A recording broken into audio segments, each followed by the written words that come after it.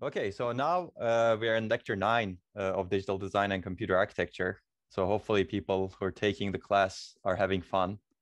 Uh, we're, we're going to raise the abstraction level today. Uh, so far, we've covered digital logic, uh, starting from transistor as the abstraction level. And now today, we're finally going to move into architecture and microarchitecture. Uh, so hopefully it'll be fun. And we're going to cover a lot of interesting topics, but we'll start with the basics as usual. Okay, now that I can see my other Zoom also, that's good. Uh, so today we're going to cover von Neumann model and instruction set architectures, but I'm going to go through these slides as a reminder as usual. Uh, remember that you have some extra credit potential with the lecture video and Moore's paper, uh, famous paper. So this is the plan for today and the next few lectures. Uh, I'm hoping to cover the green part uh, today, uh, the von Neumann model and LC3, an example of a von Neumann machine. But we're going to actually talk about MIPS architecture as well. So we're going to look at both LC3 and MIPS as examples of von Neumann architectures. LC3 is a is an educational computer that's uh, developed by uh, Patt and Patel uh, in the book in one of the books that you're reading. And MIPS is clearly a commercial architecture that has been successful in the past uh, and it's it's also successful in smaller embedded devices right now, like set-top boxes, TVs, etc. Uh, but it's a it's a relatively clean architecture, although it has its own idiosyncrasies as, as well. So it's a good educational instruction set. In fact, it's very similar to RISC-V. If some of you have heard of RISC-V, I don't see that much difference between RISC-V and MIPS, frankly, except RISC-V is open source.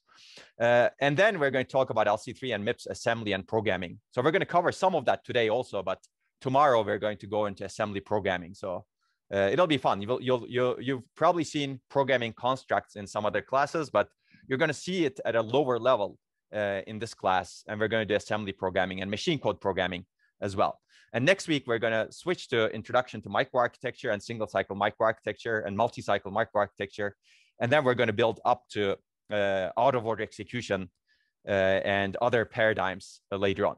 Today, we're going to cover some microarchitecture as well, because it's very hard to cover uh, instruction sets by themselves without going into implications on how an instruction gets executed in a computer. So today is really about uh, an execution model, which is the von Neumann model, which encompasses the instruction set architecture of the machine as well as the microarchitecture. Okay, so hopefully that sounds good. This is quite exciting. So we're, we're finally going to build a computer uh, out of what we have learned so far. Okay, and these are some readings. Uh, you can take a look at them. Uh, so I'm especially going to uh, follow Patt and Patel chapters four and five uh, today. Uh, but Harris and Harris has a very different treatment of similar material in its chapter six. And you can see that you can also find the ISA and microarchitecture and um, instruction definitions in different appendices of the books. And then programming is going to be covered as well. And next week, you can see the microarchitecture readings. As I, again, these are all recommended uh, readings. If you do them, I think you will learn a lot. And the books cover some things that I don't cover. I cover some things that the books don't cover. So there's some uh, overlap uh, between uh, the things. But in the end, uh, what you learn out of the lecture, if you lear learn the lecture perfectly, then uh, that's great. okay, so these are what I plan to cover today. Basically, we're going to talk about the basic elements of a computer and the von Neumann model and then jump into LC3, an example of the von Neumann machine. We're going to talk about instruction set architectures, LC3 and MIPS. Uh, we're going to look at different types of instructions, operate instructions, data movement instructions, and control instructions. We're going to examine their formats, and we're going to look at the addressing modes uh, that they use to generate addresses uh, so that they can bring data in, access data, for example. And as you can see on the right over here, we're going to cover the hardware software interface, which is the instruction set architecture, which is a contract between the software and the hardware, what the software expects the hardware will provide. And we're going to also go into microarchitecture, as I mentioned. We're, we're not going to delve into logic. We're going to assume logic. I'm going to show you some pictures of things that you have seen before in terms of the logic lectures that we have covered earlier, just to jog your memory, uh, just to just to uh, uh, just to hopefully uh, show that uh, what we have seen earlier is building up uh, to a machine today. Okay, so we're going to talk about building a computing system, and uh, we will start with the von Neumann model. But before I define it, uh, let me show you a picture that you have seen earlier. Right? We, uh, I said, uh, I showed you this picture in an earlier lecture, uh, asking the question, "What is a computer?" basically a computer consists of three components, processing, memory, and IO. And this is heavily influenced by the von Neumann model, as you will see uh, in a little bit. And we will cover all three components in these lectures. And today is where we will actually go into this high level picture of the computer and uh, make it a little bit more detailed uh, and constructed. Okay, so basically we'll build up to a basic computing model. In the past lectures, we learned how to design combinational logic circuits, sequential logic circuits. And in the latest lecture, we learned how to uh, analyze the circuits so that they can satisfy some timing requirements, if you remember timing, and also how to verify the circuits so that they can uh, satisfy functional requirements as well as timing requirements. So timing and verification is extremely important for both combinational and sequential logic clearly. But assuming that you do all of those well, now you're ready to actually build a, a computing system. And with these logic structures, we saw that you could build execution units. Remember the arithmetic logic unit you, uh, or the adder, for example. Remember, uh, we, we could build decision units. Remember the multiplexer uh, that can enable us to make decisions, right? We could build, uh, for example, we, we also saw that you could build the priority uh, logic, right? That gives you a grant signal based on the priority of different uh, uh, different things that want that signal. Uh, remember from the combination logic lecture, and also I covered it recently as well. We we could build storage units also. We could actually store data, store instructions, etc., as we will see, and then retrieve them later. And we could also build communication units, even though we didn't explicitly talk about communication as much. All of the wires we design in our system is really about communication in the end. You could make it more sophisticated, turn it into networks, etc. We're not going to do that in this course. You will see it later in a computer architecture course if you take it, or a VLSI design course, for example. But communication is always there, right? You need to communicate one signal to some other uh, from one place to another place, and that is communication. A wire is a communication unit essentially. That's the simplest communication unit. So basically, we know how to build all of these at this point, and all are basic elements of a computer. Today, we will raise our abstraction level and combine these things.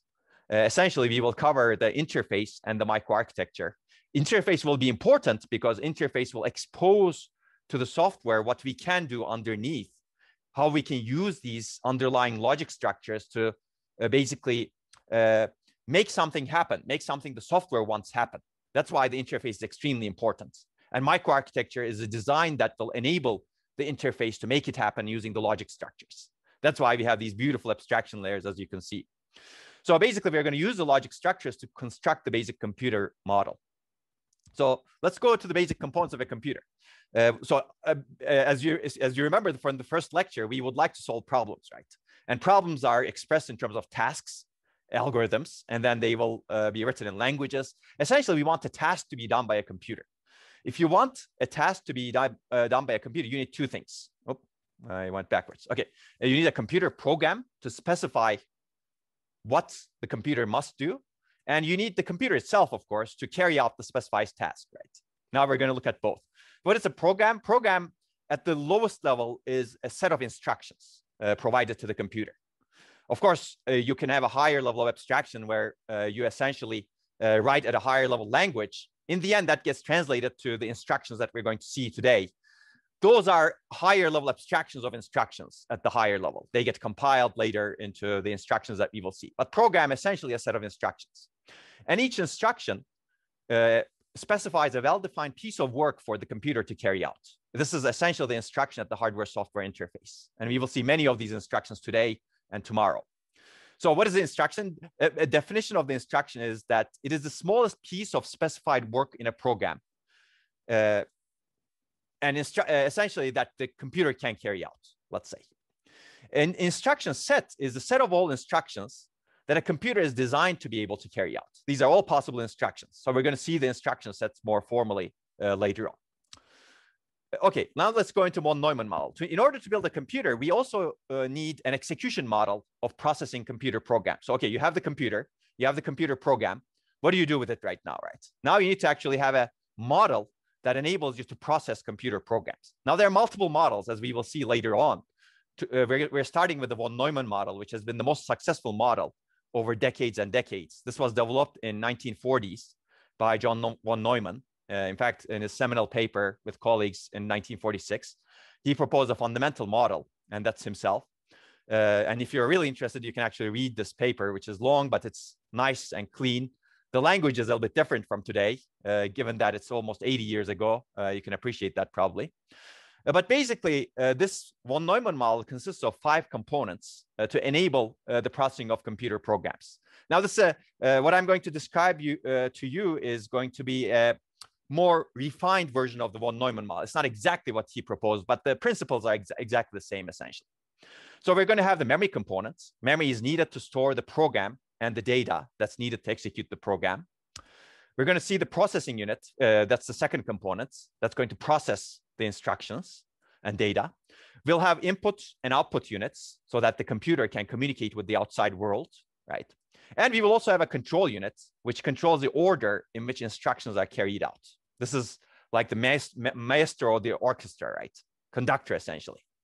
So we will have all, the, all uh, these five components in the von Neumann model, and we're going to examine them. So throughout this lecture, we will examine two examples of this von Neumann model, LC3, Little Computer 3, and MIPS stands for microprocessor without interlocking pipeline stages. You don't need to know what that stands for. It's just an architecture, basically, instruction set architecture. So I will mention before I go into detail in von Neumann models, this is one model of processing instructions, processing computer programs. There are other models later. We will see data flow model, for example, completely different. But von Neumann model has been extremely successful. All major instruction set architectures today are von Neumann architectures, like x86, for example, which is the dominant uh, instruction set architecture today. Uh, MIPS clearly, ARM clearly, uh, RISC-V. They're all von Neumann, They're all following the von Neumann model because it's very intuitive and simple. But this doesn't mean that it's not necessarily the highest performance uh, enabler, uh, as we will see later on. So keep that in mind right now. This is uh, what's dominant today, and it's a very good way of thinking about uh, designing computers. It's very clean. Uh, it helps the programmers uh, in many ways because of the properties as we will see in a little bit. And the programmer can also clearly distinguish between these five different components if needed, right? Input, output, for example, we clearly distinguish between them. Processing unit, memory, we distinguish between them. As a programmer, we don't necessarily distinguish between control unit, but control unit is really essential for enabling the programmers to assume something from the hardware, which means that instructions need to be carried out in a in program order, and the control unit enables that carrying out of the instructions in the program order. Okay, so keep that in mind. We're going to uh, look at other models later on. So this is the pictorial view of the von Neumann model. This is from your book, Patt and Patel. Uh, you can see the same picture over here. Now we're going to look at all of these components one by one. Uh, and then we're going to execute instructions on top of it. And again, both MIPS and LC3 have the same components essentially. Uh, okay, let's start with memory because it's very important. And we've already built memories, right? If you remember, this is our memory array. This was the bigger memory array that we discussed, but you know exactly how a memory is built. Uh, this is four locations, as you can see. You have four addresses, uh, meaning addressability is four.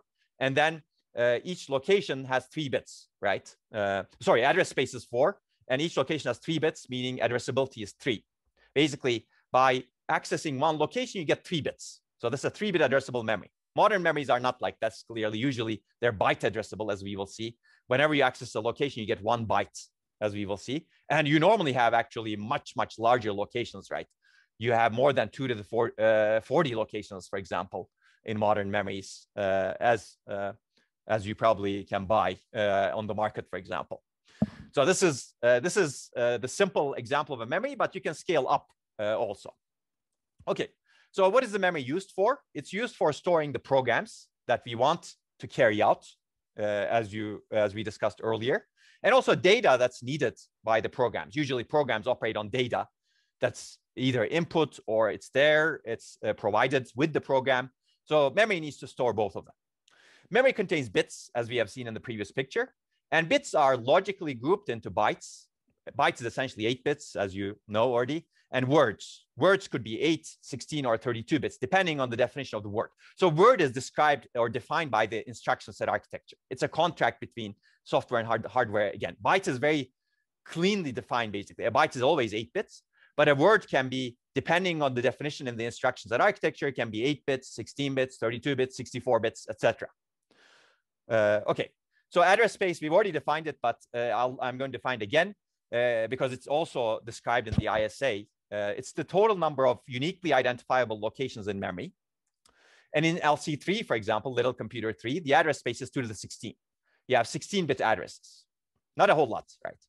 In MIPS, the address space is 2 to the 32, 32-bit addresses. In x86 64, which is a much more modern instruction set architecture, the address space is up to 2 to the 48 today, but over time it may change, of course. So you can have 48-bit addresses, okay?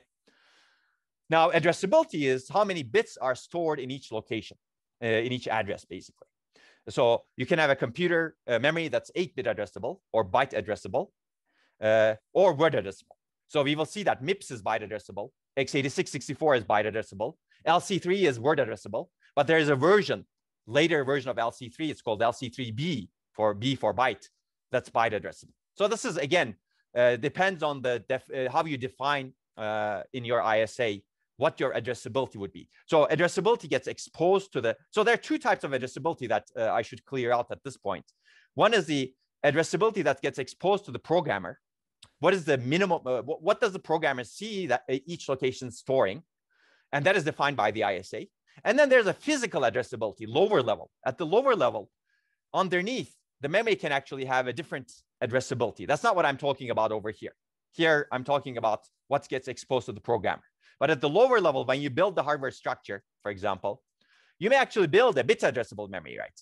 You may actually say, okay, I have uh, one bit stored in each location, and somehow uh, I get different bits from different memories to satisfy the programmer. So that because the programmer wants one byte, okay? So I keep in mind that what gets exposed to the programmer as what memory looks like may be different underneath when the memory is physically actually built.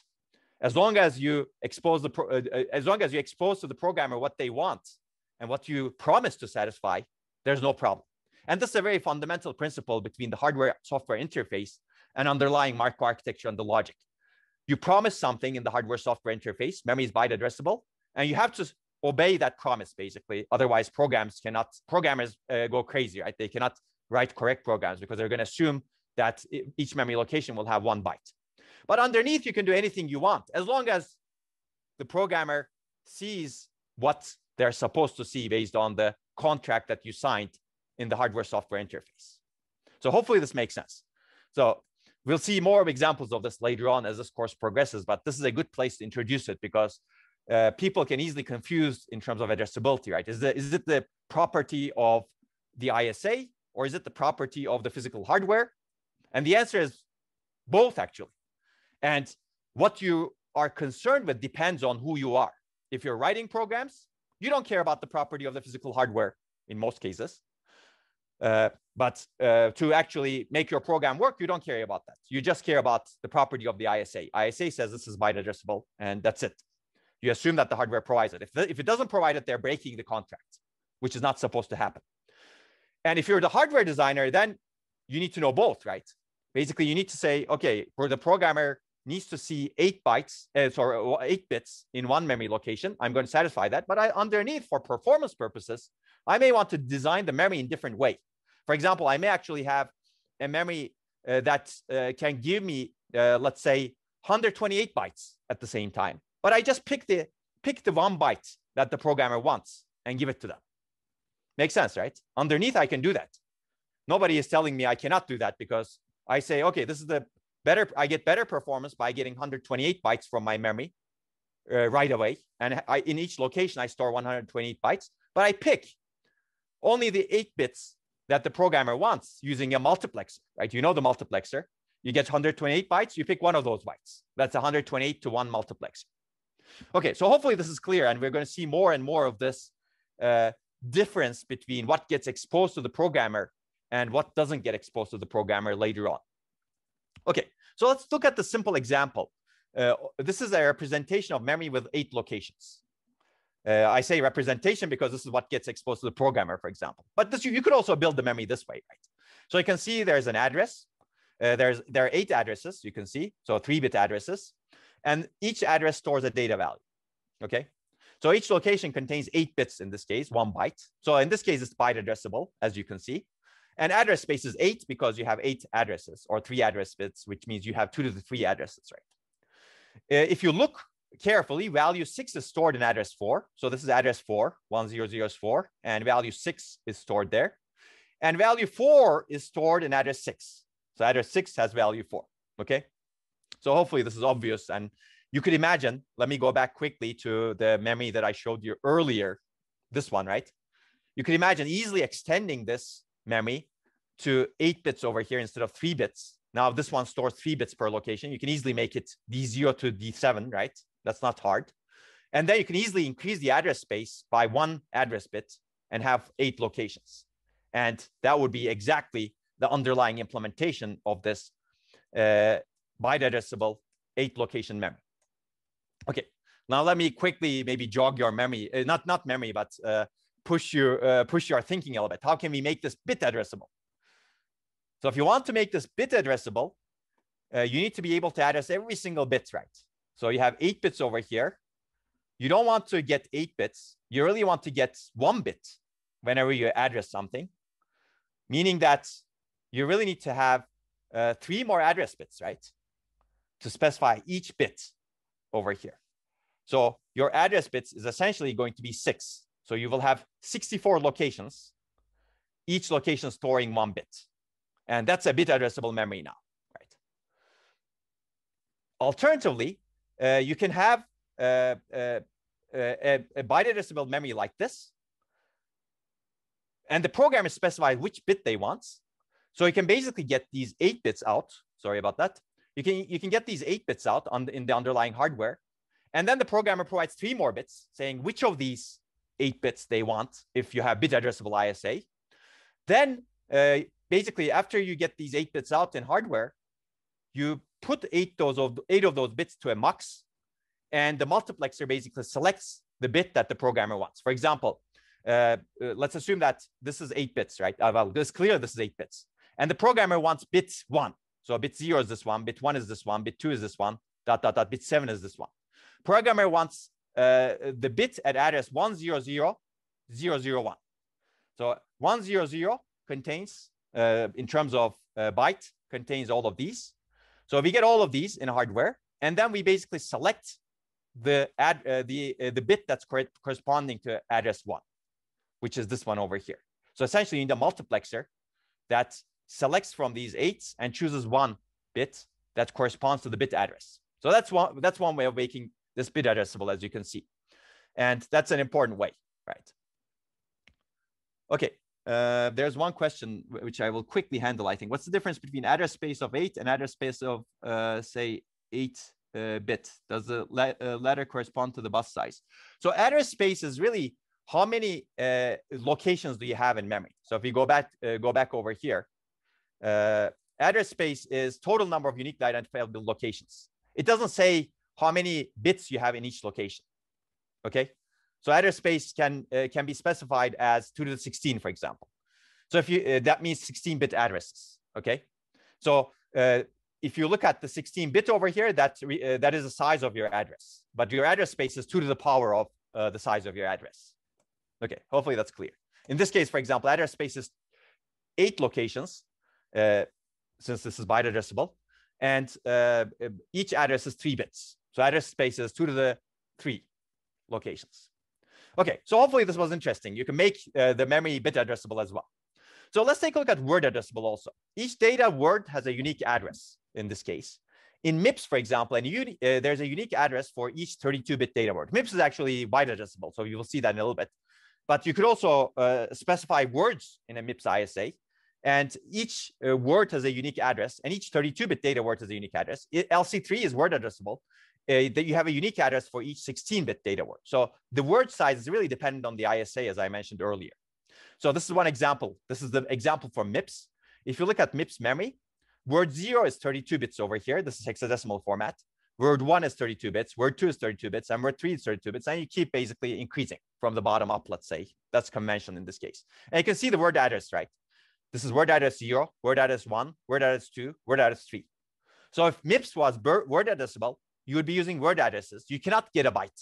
Right? You cannot basically specify the byte within a word because you don't have the you don't have anything else in the address, right? uh, your, your addresses go from zero to one, and each of them specify one word. Okay, this is word addressable memory. Okay, byte addressable memory, on the other hand, each byte has a unique address. MIPS is actually byte addressable, as I mentioned. LC3B, updated version of LC3 is also byte addressable. So MIPS memory actually looks like this. This is a conceptual view. Not the physical view necessarily. Right?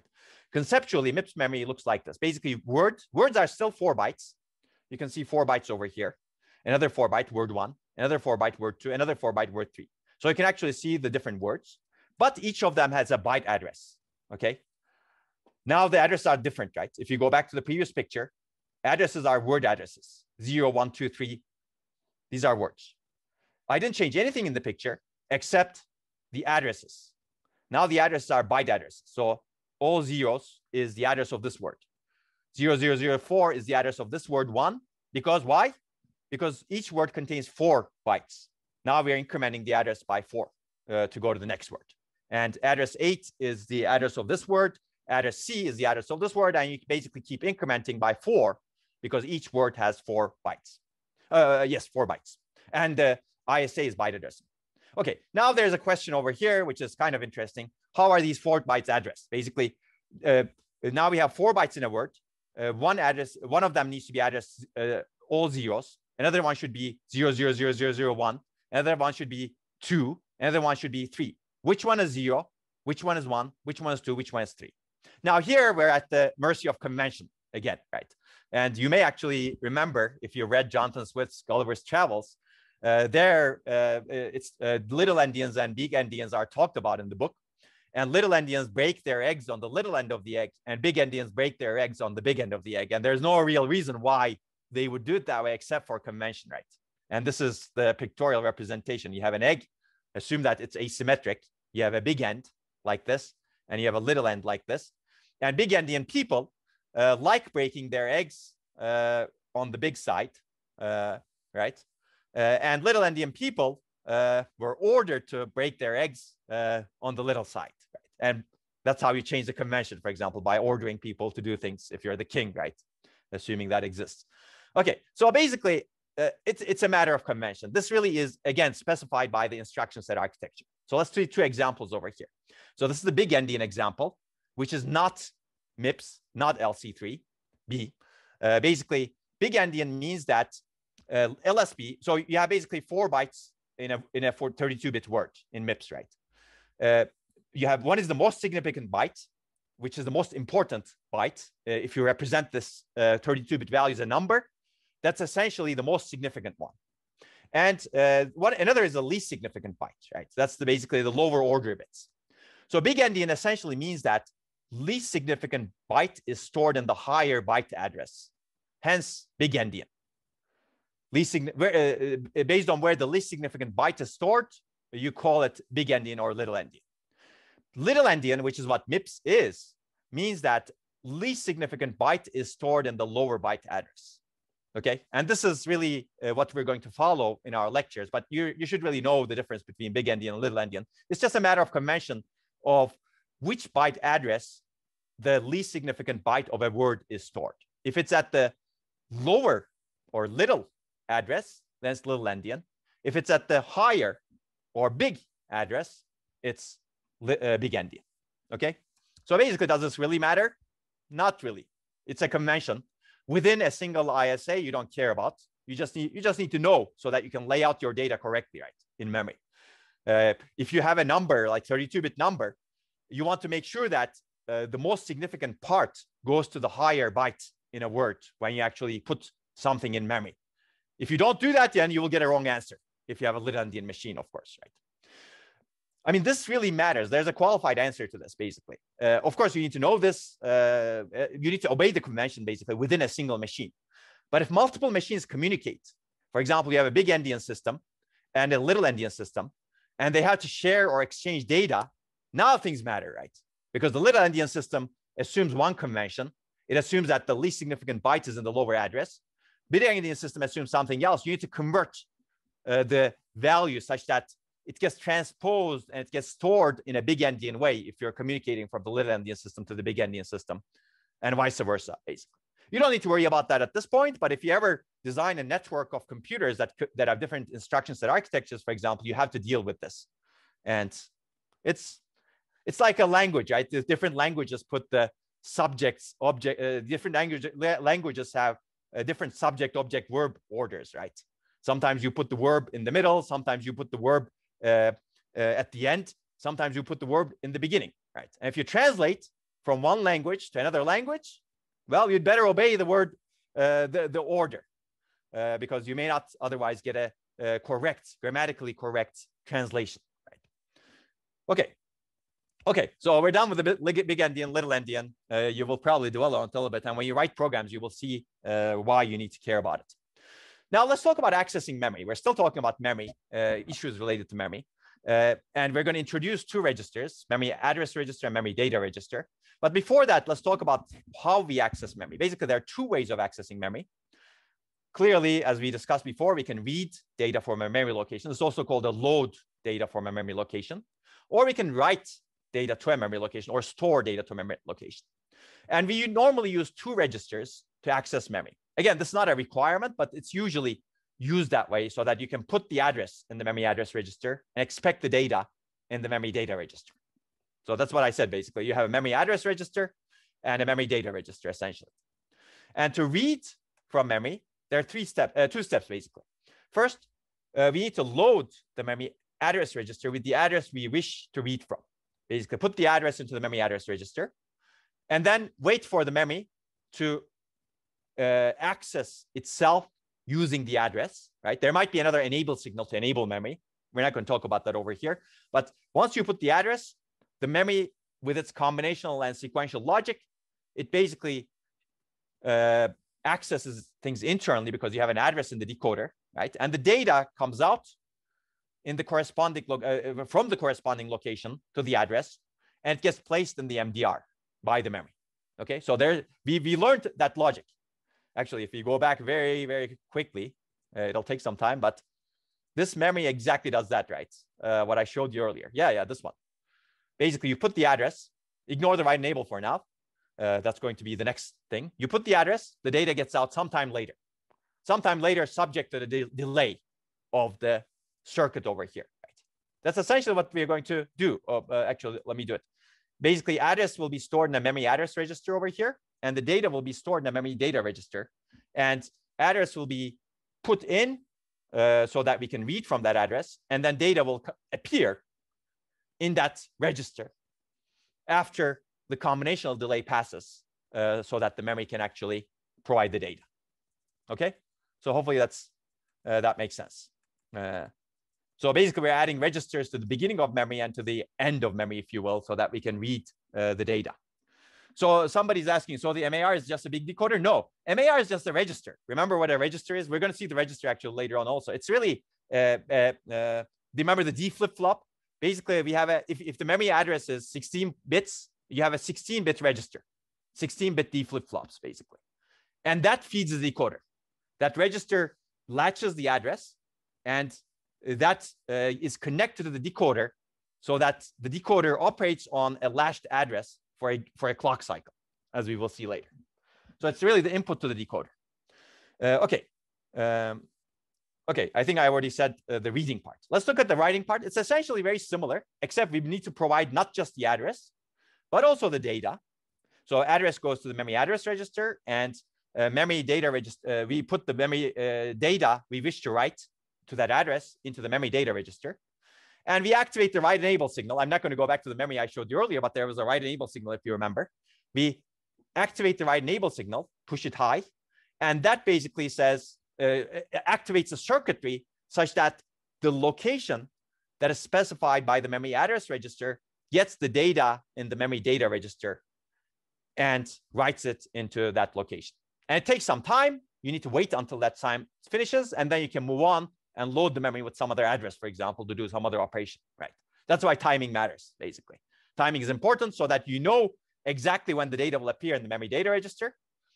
Uh, assuming that a memory takes one cycle, let's say one clock cycle, you need to ensure that you wait enough combinational delay, as we discussed, plus the delay of the uh, uh, latches. If you remember the setup time and the hold time of the timing, you need to ensure you make you wait enough time so that after you put in the memory address, after the clock cycle, right, uh, at the beginning of the clock cycle, from the beginning of the clock cycle, and after you assert the write enable, hopefully at the beginning of the clock cycle again, you wait enough time and the data appears at the end if you're doing a read. And for doing a write, essentially, you need to do the same thing. You need to wait enough time. And this is all dictated by the clock cycle that you decide uh, uh, to have in your processor, for example, as we will see also. So all of this should be able to happen within one clock cycle, assuming you have a one clock cycle access memory. We will later break, break that assumption. We will make memory multiple access cycles, multiple clock cycles, because it just takes too long to access me uh, large memories. But don't worry about that for now. So basically, every principle that we discussed earlier for combination and sequential logic still applies over here. Okay, I'm done with memory for now. We're going to get back to it, of course. Now let's look at the second component of the von Neumann model, which is the processing unit. And you've seen parts of the processing units. You can see an ALU and temp over here, maybe wondering what they are. But processing unit essentially performs the actual computations. So we call these things computer, right? Computer does computation, and this is really the, what the computer is designed to build. The processing unit can consist of many functional units that can do computation, arithmetic, and logic. And we start with a simple arithmetic logic unit, which you have seen before, ALU. It can execute on computational logic operations. And these are specified by the ISA again. In LC3, for example, you have add, and, and not. These are the logic operations that, uh, computation operations that you can do uh, in the instructions. In LC3B, XOR was added, for example, instead of not. Uh, in MIPS, you can have many more. Add, subtract, multiply, and, nor, shift left logical, uh, etc. Basically different kind of shifts and rotate, rotate instructions that I'm not going to talk about right now, which you can look at. So ALU processes quantities that are referred to as words. These are the data quantities. This is again a word. This is very similar to the memory word uh, that we have seen earlier, uh, but this is really the processing width of a machine. So if people call, talk about a 64-bit machine, for example, it's really the word length of the ALU. So you can operate on entities that are 64 bits. In word, uh, the, in LC3, uh, the word length is 16 bits. It can operate on entities that are 16 bits. Uh, in MIPS, it's 32 bits. Word length is 32 bits. Uh, in x86 64, for example, there's a reason why it's called 64. The word length is 64 bits, basically. It can operate on, for example, two data values that are 64 bits. Now, this, this doesn't mean that it cannot operate on smaller values. It can also operate on bytes, for example, 8 bits. But the maximum value is really the word length. Okay, so hopefully that's clear. So if someone says, "Oh, I have a 32-bit processor," now you know what it is. It's really, uh, it really usually refers to the word length in the ALU, what your arithmetic operations uh, operate on, uh, the the the the quantity uh, of uh, the or the width of the data that the arithmetic operations operate on. Okay, recall we have actually seen ALUs, if you remember. so this is actually a copy paste from the combinational logic lecture and I'm not going to go through this in detail, but I'm just going to uh, uh, show you that this ALU is a, uh, is a unit that can perform uh, eight functions. You can encode the function as a control signal, three-bit control signal over here, as you can see. And you can see the word length. Word length is n over here. So this is an uh, this is an ALU that can operate on a word length of n. And in MIPS, for example, n is 32. In LC3, as we will see, n is 16. But you can also make it operate on smaller word length as well, uh, if you design your ALU reasonably, of course, right? Okay, you can see that different functions uh, denote different things that should be performed by the ALU. So if the function that's input here is 000, it's supposed to do AND. If it's 001, it's supposed to do OR. So this way, actually, now if you actually have an instruction that says AND, you know that you should give a control signal that specifies the AND uh, in the ALU, right? Hopefully that makes sense. Now, actually, uh, you can imagine how if your instruction says, for example, add, it's an add instruction, you'd better make sure that the control signal in your ALU is 010. And you'd better make sure that the right operands or right inputs, right data values are supplied to the ALU from somewhere, as we will see, so that uh, you operate on what the add instruction specifies, right? As we will see. Okay, so there's a question. Do we usually have multiple ALUs? Uh, can perform multiple functions at once? Yes, basically in existing processors, you have many, many ALUs actually. Uh, it could be eight, in some cases more than eight, because you want to do multiple things at the same time. But we're not, we're going to assume we have one ALU for now. We're going to build up to those machines that are called superscalar machines, meaning things that can do one, more than one uh, operation at a time. But existing machines are more complicated. You have more than one ALU, absolutely. Okay, so this is how the ALU looks uh, internally, for example, uh, as you have seen in the combination logic. So nothing is basically, nothing I'm uh, describing to you right now is things that we did not cover uh, in the lower uh, level. Okay, so what else do you need in the processing units? You also need fast temporary storage, and this is important. Uh, so basically, you need to supply the ALU with inputs, A, B, for example, and then you have an output, and then you may actually use that input uh, output as an input for another operation, right? For because you have another instruction. So to be able to, to accelerate this, you want fast temporary storage.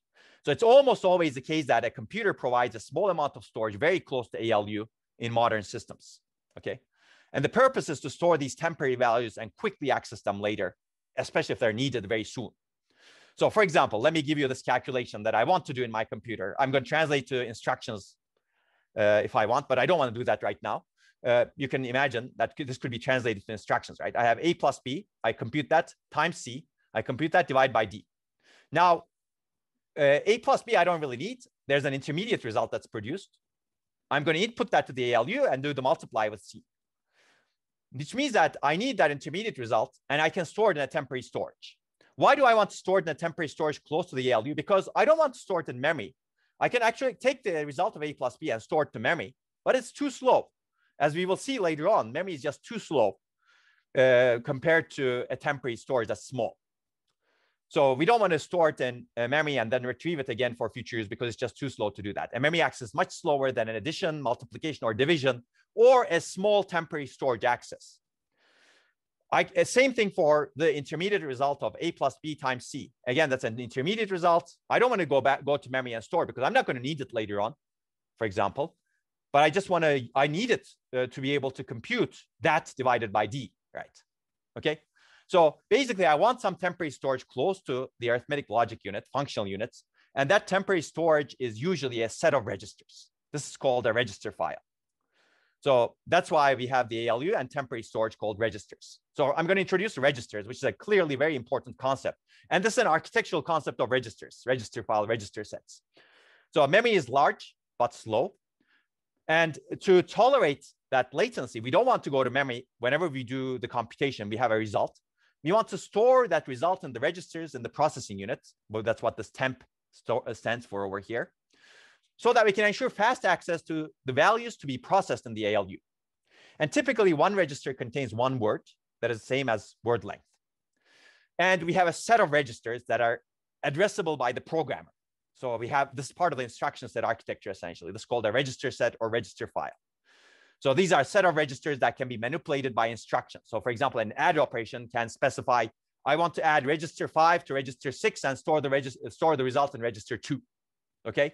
So you have this temporary storage that you use as opposed to the memory locations, right? And then you bring the data from the memory into the registers first, and then operate using instructions in the uh, uh, ALU. And then when you want to write the result back to memory, one result, whatever result that you compute, you basically store the result using some other instruction from the registers to memory. That's the idea. So for example, LC3 has eight general purpose registers. It enables you to uh, be able to store eight values concurrently at the same time that you may be operating on. Originally, x86 had eight general purpose registers also, but later people figured out that eight is not enough. Uh, so they added more. So these are numbered normally. So R0 through R7, for example, you have a three bit register number to specify which register. So this is a very small piece of memory, basically. What I showed you earlier, the eight address memory uh, is essentially could be a register file, right? So you have a three bit register number, three bit address for the register file, basically. Okay, register size, the word length, which is 16 bits. Word length is what the ALU operates on, as we discussed.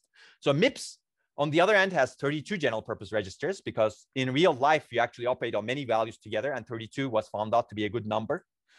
And these are numbered as R0 through R31. So you have a five bit register number. This is also called a register ID, by the way. ID standing for identification number. It's really a register address, if you will.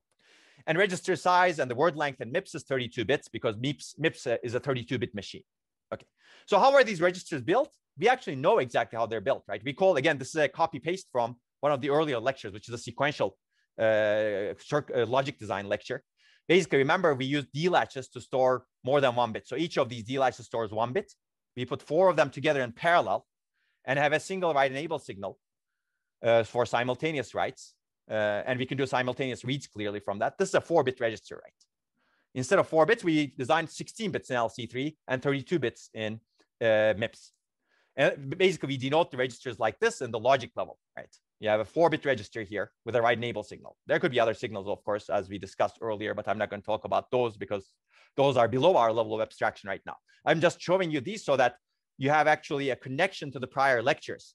This is how we're actually building up. Uh, okay, you can act a, a register actually better uh, built using D flip-flops. Remember, a D flip-flop latches data at the rising edge of the clock or the falling edge, and it can keep the data for the entire clock cycle. And we want that actually in a real machine because we want to be able to operate on the data coming from a register for the entire clock cycle, as we will also see later on. But basically, uh, you want D flip-flops, and D flip-flop based registers are essentially look the same. Basically, you don't need to uh, you don't need to know exactly how it's built underneath if you will, at this point.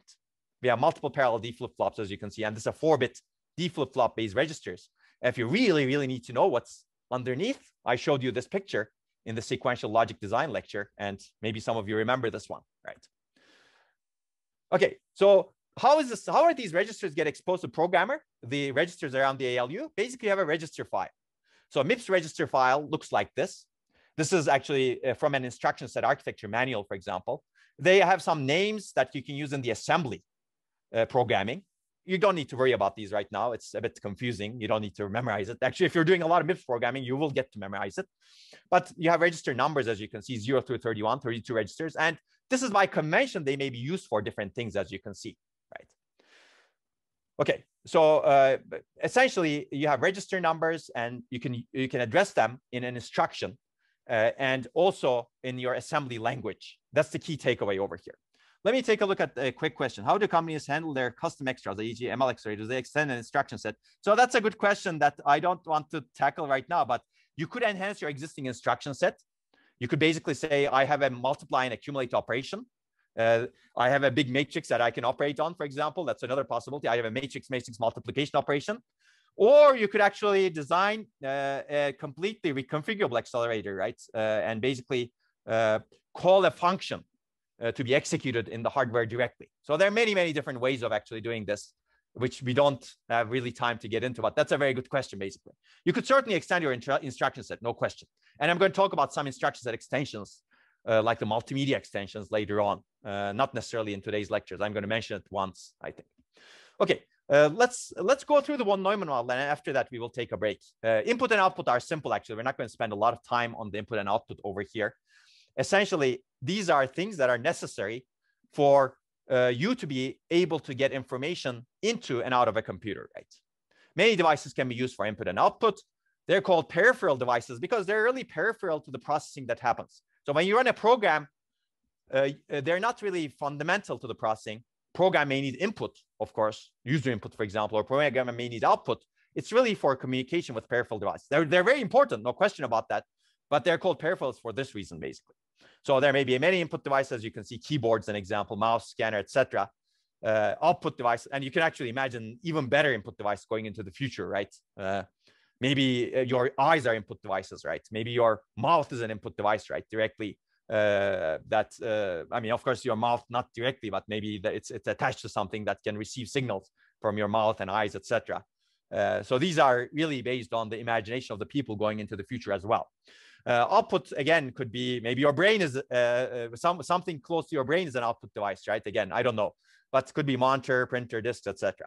In LC3, your book considers keyboard and monitor. We're going to cover that very briefly, but we're not going to go into a lot of detail over here if you take an embedded systems course, for example, you will deal a lot with peripherals because embedded systems is all about communication with the outside world. You can build a system that can basically uh, compute your heart rate, for example. Very simple, yes, but and these systems clearly exist right now, but you need to be able to communicate with the peripherals to be able to compute your heart rate. Okay, now let's go into the control unit, which is really the conductor of this orchestra. And that's the last piece of the von Neumann model, as you can see over here. So uh, the control unit is like the conductor of an orchestra. Everything happens because control unit enables it to happen essentially. It really conducts a step-by-step -step process of executing every instruction in a program. And each instruction also has a process of execution as we will see. It keeps track of which instruction is being processed. And to be able to do so, it has an instruction register which contains the instruction itself. This is the encoding of the instruction. This is the instruction I fetched from memory. I'm going to process it. After you fetch it, you latch it into the instruction register. And that instruction is available in the instruction register until the processing of it gets completed. It could take single cycle, multiple cycles, we will see. Okay. It also keeps track of which instructions to process, uh, process next via a program counter or instruction pointer. This is really the address of the instruction to process or the next instruction to process, depending on when you look at it, basically. But essentially, you can think of it as the instruction of the next instruction to process. And you basically sequentially go through instructions unless there's an instruction that changes the flow of control, as we will see later on. So this is very important. Program counter, instruction pointer. Program counter is not a great name. Basically, it counts. Basically, program counter, you start from uh, location zero and you basically increment it. You keep incrementing it, etc. But I like the instruction pointer because it's really it's really a pointer to the instruction that is going to be processed next. So there's one instruction that's being processed. That's an instruction register, and PC or IP points to the instruction that's going to be processed next. IP is a nice terminology, I think. Instruction pointer. Intel uses it. Everybody else uses program counter. I like IP better actually because it's really uh, does justice to the word because program counter, you're really not counting the programs, right? Okay, that brings me to the programmer visible architectural state in an instruction set architecture. Essentially, what we have discussed, what the instructions can operate on are all programmer visible, right? So the memory, for example, uh, is programmer visible. This is an array of storage locations indexed by an address. And this is, you have a programmer visible memory space. Registers are programmer visible. And these are given special names in the ISA, as we saw, general purpose versus special purpose, and program counter, memory address of the next or current instruction, depending on when you look at the program counter, as we will see also, is programmer visible. So instructions and programs essentially specify how to transform the values of this pro programmer visible state. So this is extremely important concept, basically. There are other registers in a machine. There are other memories in a machine but they may not be programmer visible. What you care about as a programmer is what is visible to you. And when you actually write your program, uh, that operates on the programmer visible state essentially. And this is also called architectural state. And it's, it's extremely important. This is what the instructions operate on. Okay, so that actually uh, almost finishes the von Neumann model. We've covered all of these five, uh, four, uh, five components essentially and this, this uh, define the programmer visible state also. But I would like to also mention two key properties of the von Neumann model. Uh, and uh, that's really important. And we're going to come back to this later on also, because all of the other models are going to break some of these properties, at least one of these properties, let's say. So von Neumann model is also called the stored program computer, meaning instructions are in memory. So whenever you want to get an instruction, you fetch the instruction from memory. Program is inside the memory. Uh, to be able to execute the program, the control unit goes through a memory and gets the instruction and basically decodes the instruction, figures out what needs to be done to the instruction, and then sends it to the processing unit. Processing unit processes the instruction, updates the memory as needed, and then the control unit gets to the next instruction. So we're going to see that model later on. Uh, but uh, that's, that's exactly why it's called the stored program computer because the store program is stored in the memory. So there are two key properties. One is the stored program, but the second key property is also very, very important. In fact, maybe even more fundamental to the von Neumann model. It's sequential instruction processing. So let's take a look at the first one. Uh, instructions in, in a stored program computer, instructions are stored in a linear memory array. And memory is unified between instructions and data, meaning that the interpretation of a stored value depends on the control signals, as we will see later on. Whenever you access memory, uh, you may get an instruction, you may get some data value, it depends on what you're looking for and when you're accessing memory, as we will see in a little bit. When, if you're fetching an instruction, you interpret the data that you get from memory as an instruction. That's why the control unit is extremely important because the control unit says, okay, it's time to fetch the instruction. It basically accesses memory. Memory just gives you a data value. It doesn't know what's an instruction or what's not an instruction, right? Memory basically gives you the value that you want from that location, program counter, let's say, which is the address in memory. And then the control unit says, okay, this is the instruction in program counter X. And I'm going to treat it as an instruction, the data value that I get from memory as an instruction. Later, it decodes the instruction. And then the processing unit figures out that, oh, okay, I need to access memory so that I can satisfy this instructions operands, right? So that I can, I can put it into a register, for example. And that access to memory is a data access, right? Because you're doing that access at a very different point in the instruction processing, right? You're not doing it when you fetch the instruction. You're doing it when you actually execute the instruction, for example, as we will see in a little bit. So basically, from the perspective of memory, it's all data. Some of them may be instructions, yes. Some of them are data, but the memory doesn't know that. It all uh, depends on how you interpret the data that you get out of memory. And that it all depends on the control unit, the conductor of the orchestra, who knows exactly what it's doing at any given point in time. Okay. The second component is sequential instruction processing. This is also called sequential execution. Uh, and this is really the dominant paradigm of how computers are designed today, which is the von Neumann model. But it's really the key example of a key property of a von Neumann model. Essentially, this says that you process one instruction completely at a given time, meaning you fetch it, execute it, finish it. We'll see that in the instruction cycle in a little bit. And the program counter or instruction pointer identifies that instruction. And then after you finish it, you actually advance the program counter to the next instruction, right? Except for control transfer instructions, okay? So basically you sequentially go through the program one by one. A location, uh program counter one, two, three, four, five, six, seven, eight, nine, 10, 11, 12, dot, dot, dot. And you, you execute, uh, finish one instruction and the next instruction starts after the previous instruction uh, finishes, okay? So this is really important. Again, uh, as we will see, uh, we will build machines that will look like it initially, but then we were going to break this property internally so that we can get higher performance. But again, this is a property of the instruction set architecture. We're not going to expose what we do underneath to the programmer. Okay. Okay, so here, this is a very good time to take a break because now we're going to go into uh, the instructions and uh, mm, the LC3 von Neumann machine. Uh, so let's take a 10 minute break. Let's be back at 1519. Uh, and then we're going to continue with the LC3 and MIPS. Okay, I think we can get started again. Okay, so now uh, we built up to uh, the von Neumann machine, and I'm going to go into LC3, which is an example of von Neumann machine. And then we're going to see examples from both LC3 and MIPS.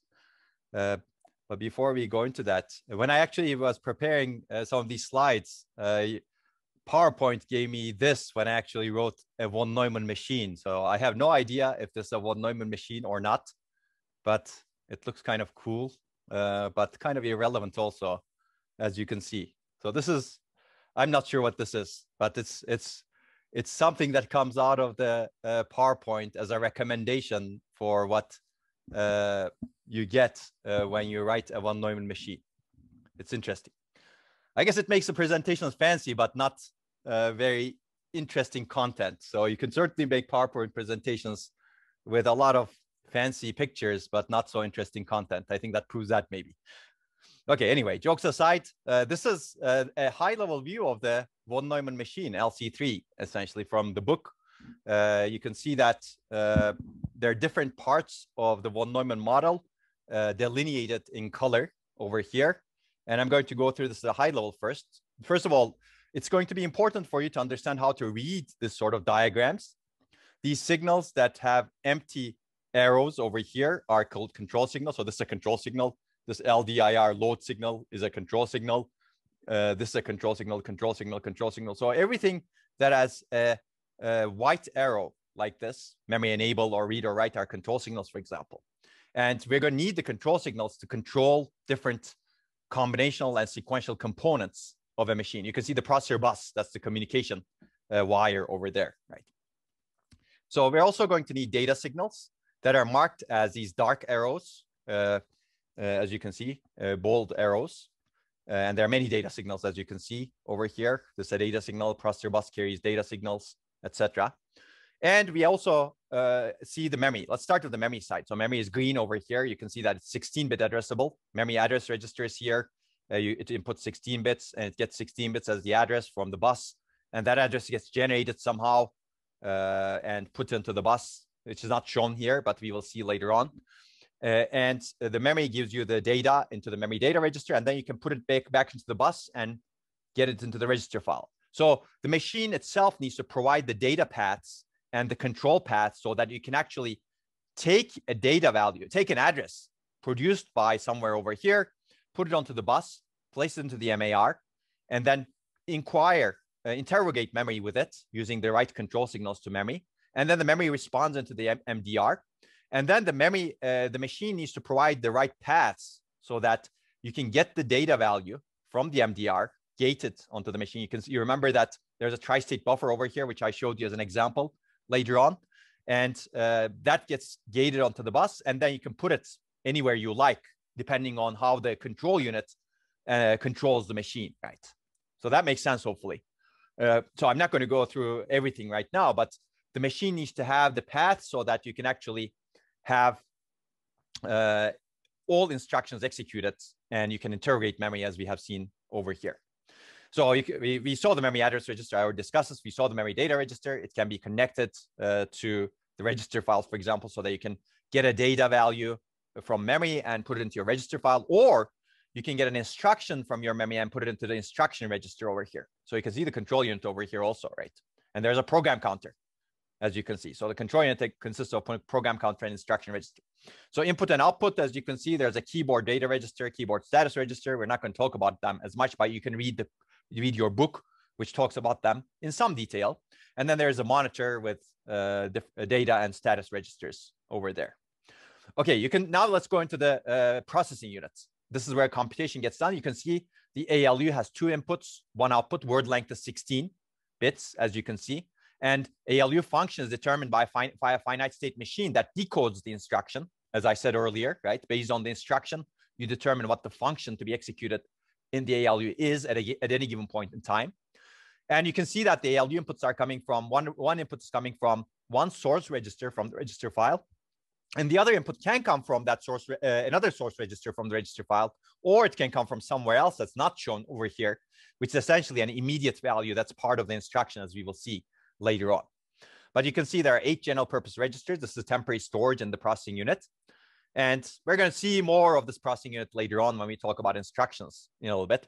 Uh, and then there's, uh, there's a control unit, as we have seen earlier, but there's an instruction register, which gets its value from memory, as you know. Uh, basically, we store instructions in memory and we fetch them one by one into the instruction register uh, using program counter as the address to load into the memory address register. So we have all the paths to enable that now in this machine. And instruction register stores a current instruction that's being processed. And that instruction needs to be decoded in this finite state machine. And finite state machine basically outputs a lot of control signals, as you can see, to orchestrate the execution of that instruction, processing of that instruction. That's why this is the conductor of the orchestra, right? All of these control signals enable the orchestration of everything else in the machine so that the machine can execute the instruction. And then there's a program counter, as we discussed. It points to the next instruction to fetch. Uh, and the finite state machine, we, I already mentioned, that generates the control signals. And there's a clock, which is very important because it's a sequential system. And that clock is input to all the registers in the system. As you can see, uh, it's implicit in the old registers actually, but it's also input to the finite state machine. And this ensures that the instruction, uh, the signals that you have, control signals that you have are decoded and you have the signals available for you for the entire clock cycle, both the instruction, uh, both the control signals as well as the data signals available for you to, for the entire clock cycle so that you can do the processing as efficiently as possible in one clock cycle. And then you can move to another clock cycle, etc., etc. So clock, basically it's a sequential system as we discussed. It consists of sequential components plus combinational components. And we've seen actually essentially all components over here, registers, muxes, uh, this is an adder, as you can see, plus one, incrementer, uh, etc. And we will see more in detail. Okay, there's the ALU operation, as I mentioned. It comes from the as an output of this finite state machine that decodes the instruction, generates a control signal. So if it's an add operation, this ALUK signal will be asserted appropriately to, uh, to signify, to, to enable an add operation in the ALU. If it's AND, then it will be uh, signified appropriately, etc. Right. And then there's a gate ALU signal, as you can see, uh, like gate MDR and some other gating signals, gate PC signals, some of them are omitted over here. This basically enables a component to uh, uh, uh, put its result onto the bus such that it can go somewhere else in the processing system. So for example, I want to have the ALU result. I did. I just finished an add. I orchestrated. Add ALU results need to go into, for example, the destination register. I need to enable this tri-state buffer and no other tri-state buffer that's driving the bus just this gate ALU. I need to set this gate ALU signal to one, and that comes from the finite state machine, as you can see, because it's part of the instruction processing. And the result gets put onto the bus and gets delivered to a destination register, which is specified again by the instruction over here in some way, and a load register signal that enables a write enable uh, signal. Okay. Okay. I mean, you don't need to understand everything right now, but this is uh, what I showed you. These paths are essentially uh, can can uh, can essentially show you uh, that you need to design these paths to enable the processing of instructions. And as I've already said, this is the processor bus. It is 16 bits wide in this case, and it goes basically over the entire processor, and it goes bidirectional, as you can see over here. So you can load the PC over here, and then the data can be come can come from the register file, etc. We're going to talk about that later on, essentially. Okay, so that was a quick treatment of LC3, a von Neumann machine. And you can see the different von Neumann components uh, of it over here. Now, uh, let's talk a little bit more uh, about how instructions are processed. Basically, uh, stored program and sequential execution are critical to the von Neumann model. Instructions and data are stored in memory. Typically, the instruction length is the word length, not necessarily, but typically. The processor fetches instructions from memory sequentially. It fetches one instruction at a time, decodes and executes the instruction, and continues with the next instruction, basically. That's the sequential execution. The address of the current instruction is stored in the program counter. So if you have word addressable memory, the processor increments the program counter by one to go to the next instruction assuming that instruction is the same as a word length, right? Instruction length is the same as word length. And that's true for an LC3. Now, if you have byte addressable memory, and if the, if the instruction length is a word length, which is four bytes in MIPS, then the processor needs to increment the program counter by word length, which is four, by, four, right? Because your memory is in byte addresses, as we discussed earlier, but we want to get a word out of it. So we need to increment uh, uh, the uh, byte addressable address uh, by four. So basically, initially in MIPS, the operating system typically sets the program counter to this value, which indicates the start of a program. And then you go to this value plus four, this value, uh, that, uh, and then that plus four, and then that plus four, and then that plus four, so that you keep fetching and executing consecutive instructions until you reach a control flow instruction, which we will talk about, that changes the flow of control. Okay, let's take a look at a high level program stored in memory. Uh, again, you don't need to understand the program now. We will get back to it. We'll build up to it actually. But this is a sample MIPS program, for example. Uh, this is the MIPS assembly you will see when you actually do your labs. Uh, there are four instructions stored in consecutive words in memory. Each of them actually one word. I mean, it's not clear from the assembly because assembly is a higher level abstraction that for the machine code, as we will see. And you can see there are four instructions here, load word, add, add immediate, sub. You don't need to know exactly what they are, but you can see that they operate on registers, different kind of registers. They have destination registers, source registers. Some of them have immediates encoded in the instruction, like minus 12 value. And there's a way to comp compute the address for the load word. And load, load word actually provides a word uh, from memory address uh, computed in some way based on the specification of the instruction. So we will see these instructions in much more detail soon. But you can see the machine code that looks like this. Machine code is essentially 32 bit per instruction. And this is the encoding of each instruction.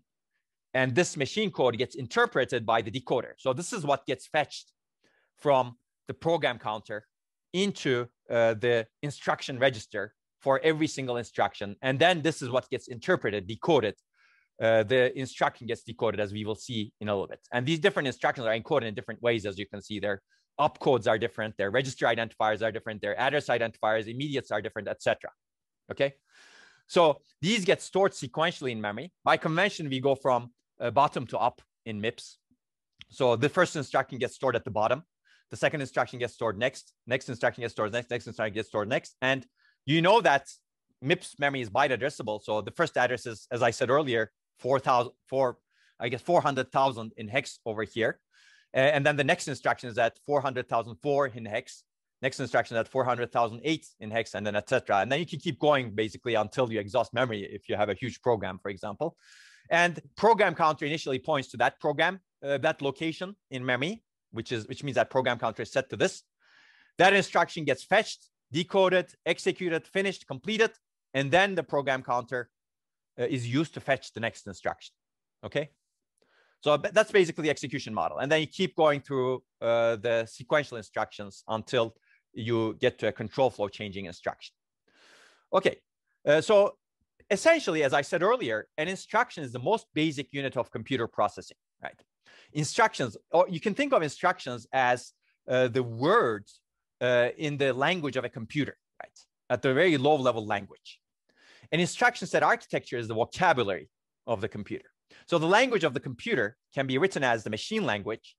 That's the lowest level of abstraction, basically, computer readable representation. That's ones and zeros. These are essentially the instruction format, instruction encoding. Or it could be done in assembly language. This is the more human readable representation. So if I go back to the previous slide I showed you earlier, this is the machine code. This is the more human readable assembly. There's no difference between them. So you can translate the assembly to machine code, basically.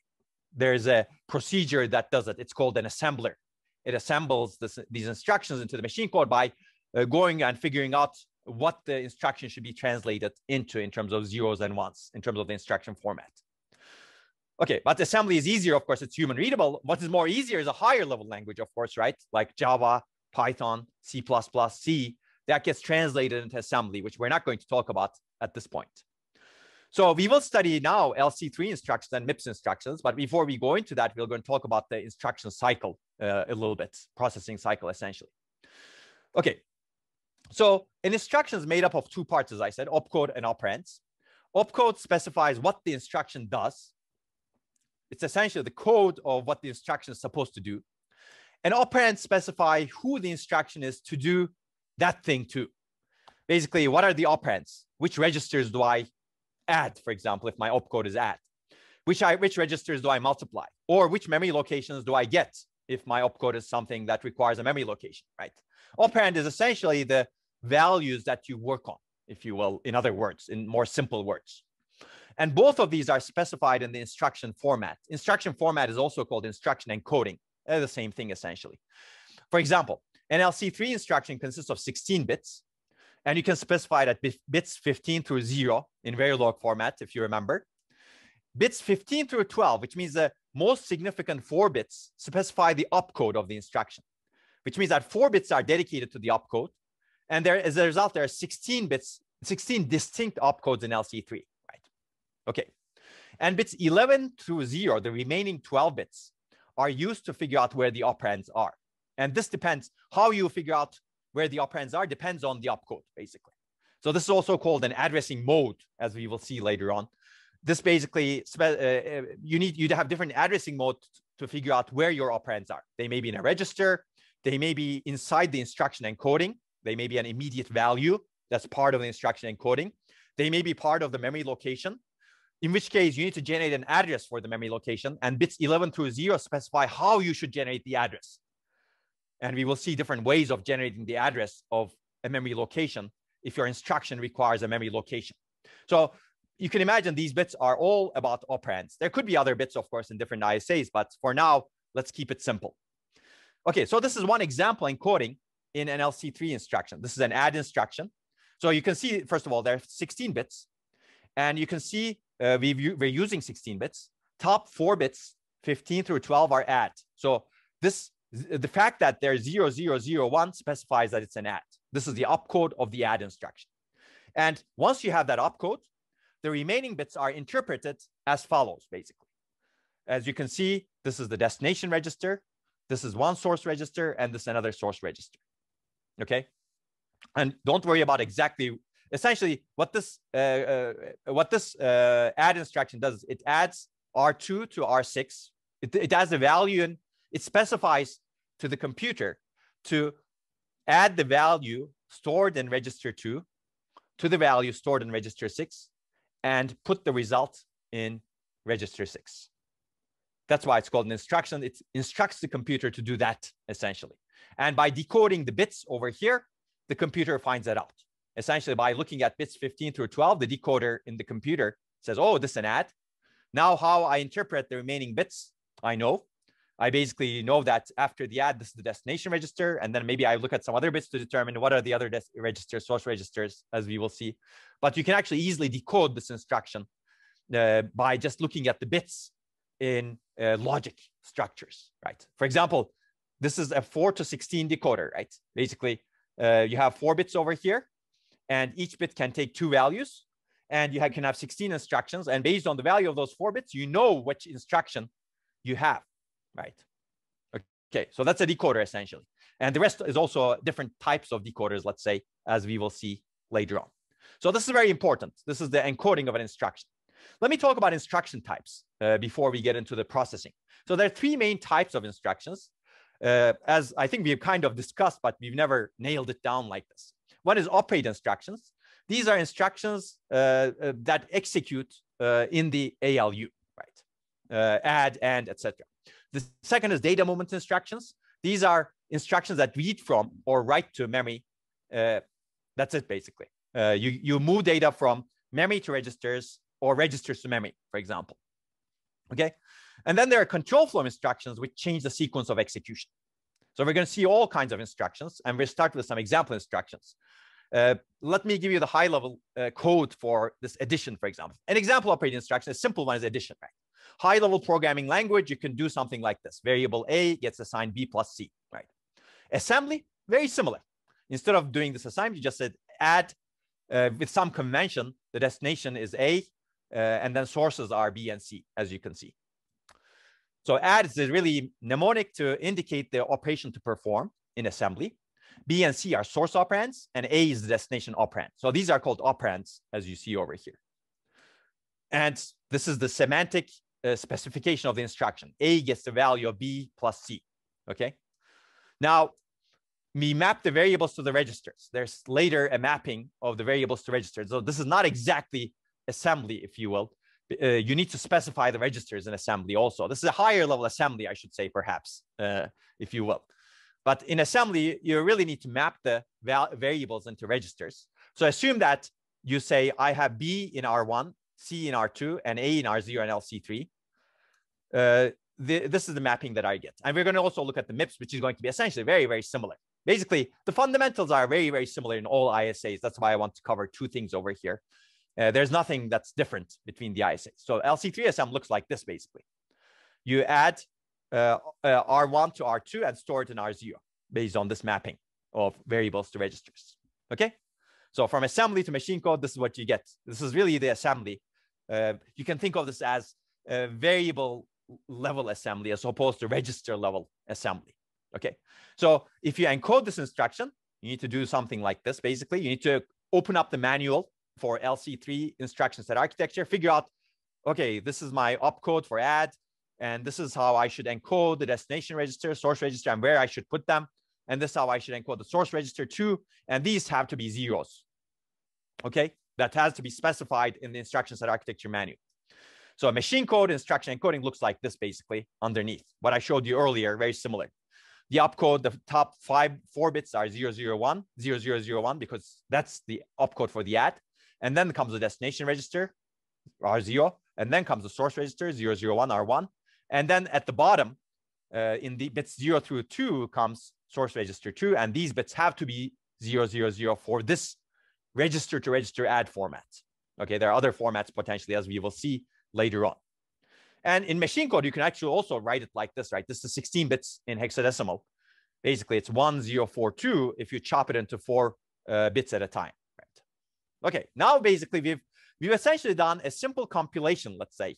We basically translated uh, let me go this way, translated this uh, high level code into assembly first, a higher level assembly, variable level assembly, and then allocated registers to variables, and then translated the assembly to very uh, register level assembly, and then translated the assembly to machine code that consists of bits, bit level encoding of the instruction by going through uh, an instruction set architecture manual that tells us how this add should be encoded. Okay, and we will see uh, in your readings, you will see that manual. And MIPS also has uh, a manual also. Right? Okay. Uh, okay. so instruction format or encoding, I've already basically given you. The operate instruction format in LC3 looks like this. Basically, you have the there, it depends on the different kinds of instructions.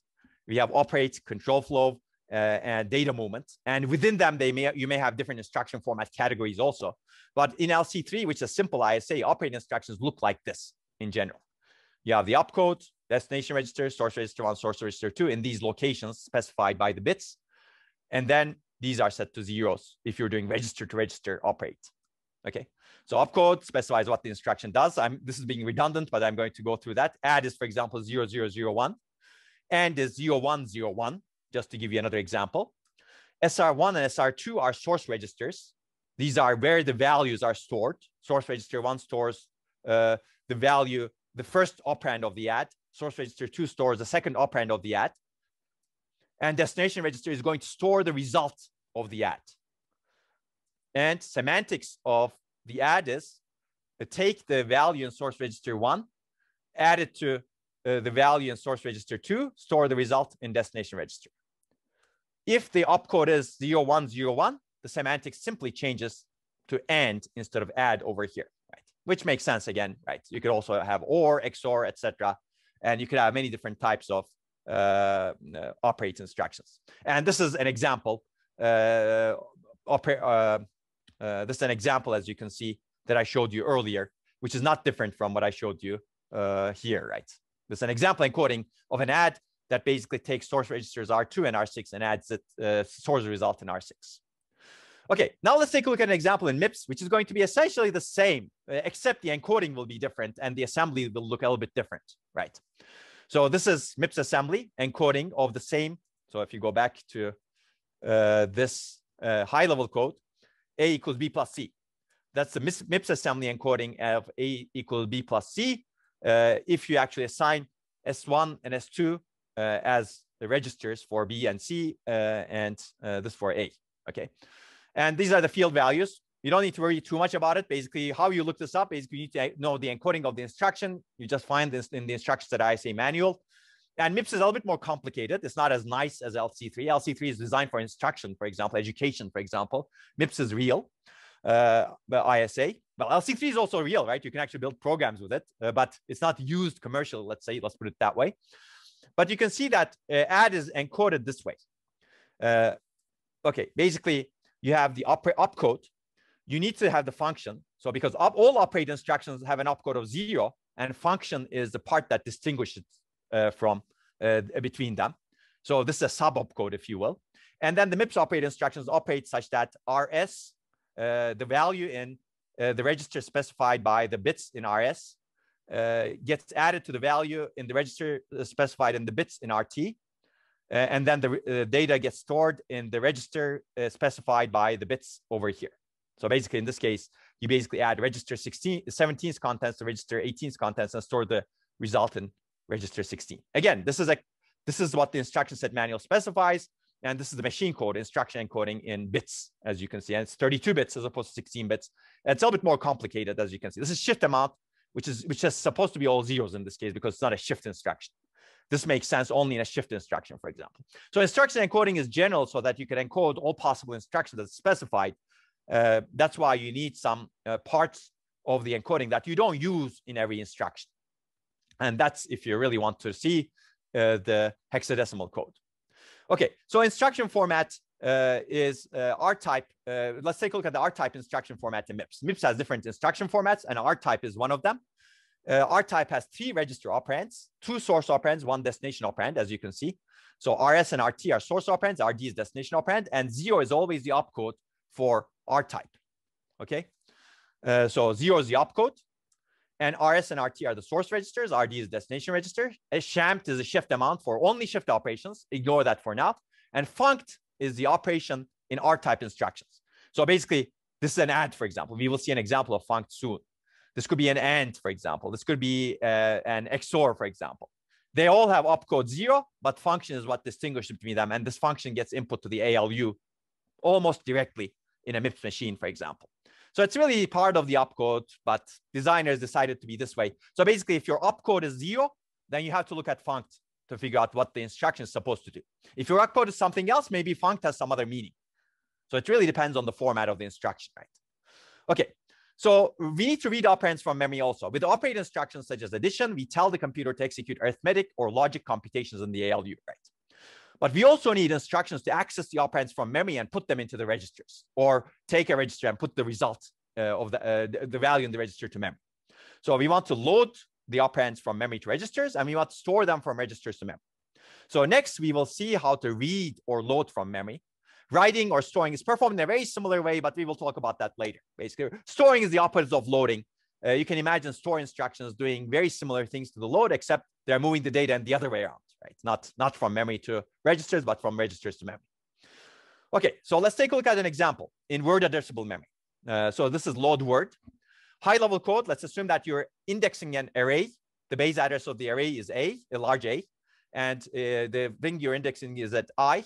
And uh, the variable is going to be stored in a, uh, uh, the, uh, the A variable over here. So you take array A and take the word in location I of array A and then store it into this little a variable.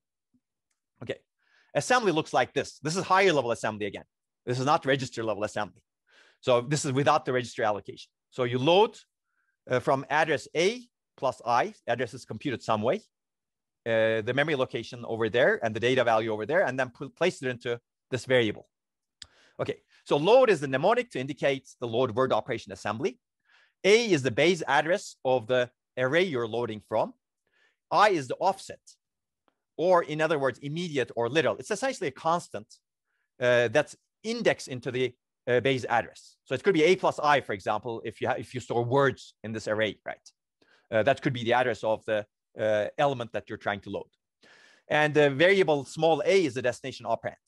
So semantics of this instruction at the assembly or high level code looks like uh, take the uh, word in memory location address a plus i place it into variable small a. Okay. Now we're going to look at load word in LC3 and MIPS. So let's take a look at LC3 assembly. Now we're going to make it make i uh, constant. Let's take let's say that the index is two. We want to read element uh, two as opposed to element zero as opposed to element one or three, right? And this is word addressable. Again, we want to read the word into that variable. This is a high level code. And this is the LC3 assembly happens to be. This is one way of doing it. There may be other ways, but this is one way of doing it. This is a convenient way that use a nice addressing mode, let's say. So basically what this is load register. Essentially, what this load register says, semantics is take the, uh, calculate the address of the memory location that we're going to load as base register, value in the base register, which is R0, add two to it, calculate the address, and then get the data value in that address, place it into register three, which is exactly what we want over here.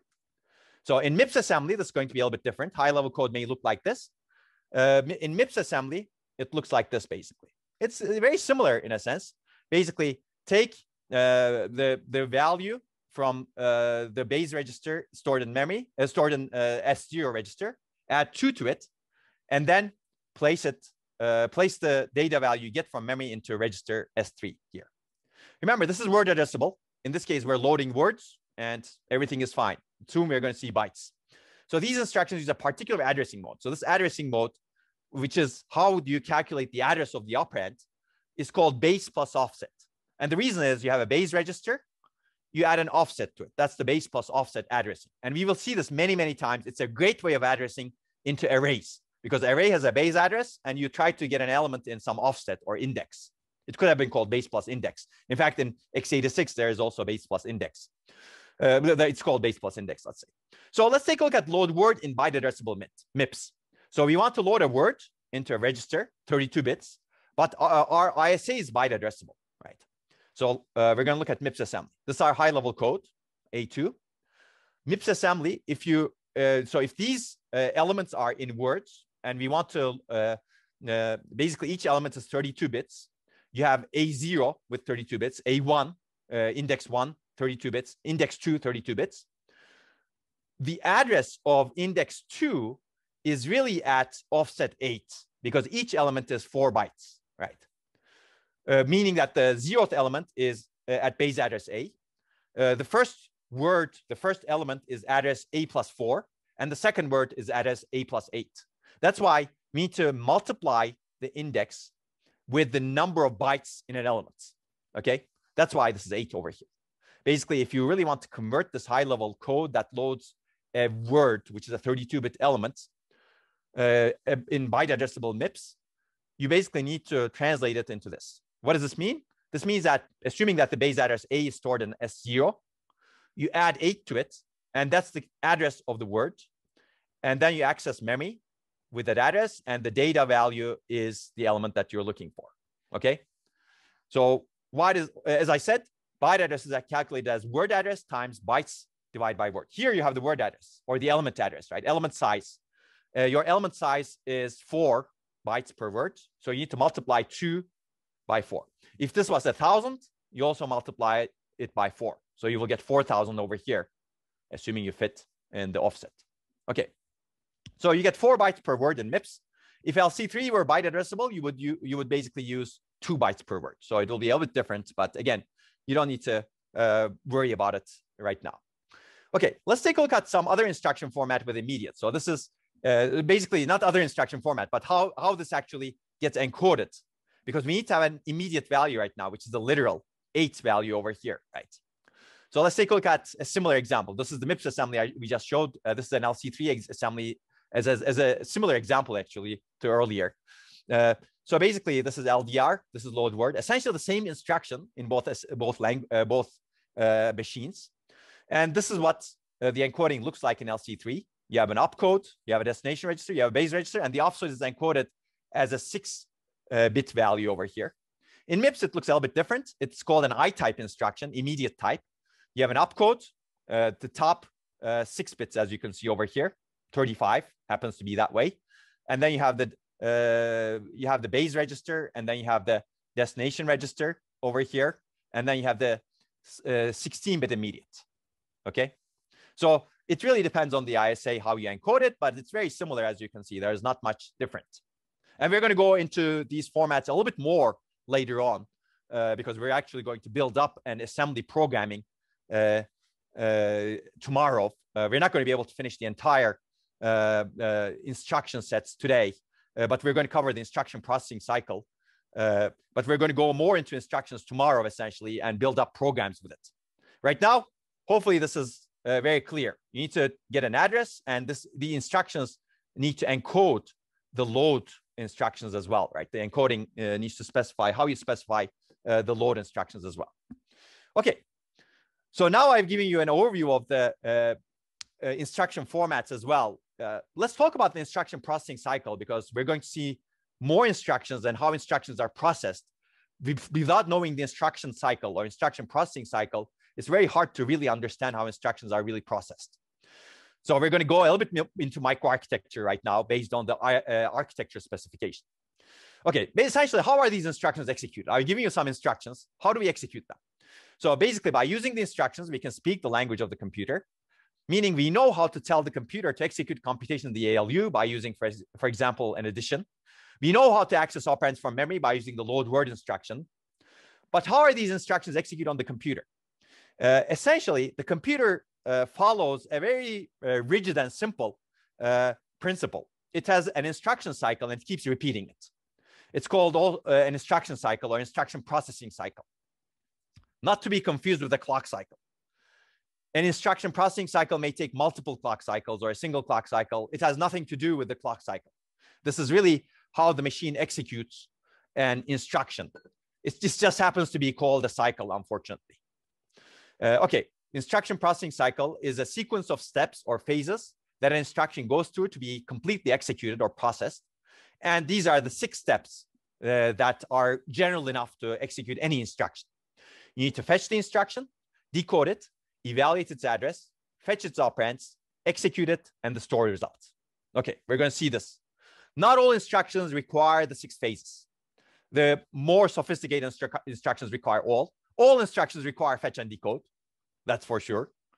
Uh, but not all instructions require every phase. For example, load register, like load word we saw earlier, does not require execute, right?